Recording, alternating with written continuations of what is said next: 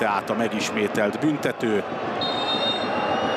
De most már Krisztenzen lövi. Krisztenzen, és ezen is rajta volt Megyeri, de megszerzi a vezetést a Fehérvár. 11-esből 1-0 tehát a hazaiaknak, és Krisztenzen a negyedik gólját szerzi az idényben.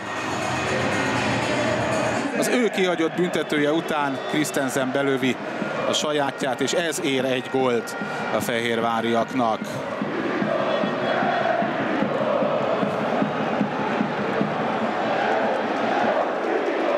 Na hát ez Alika nem majd ad beszédtémát a stúdióban a szünetben.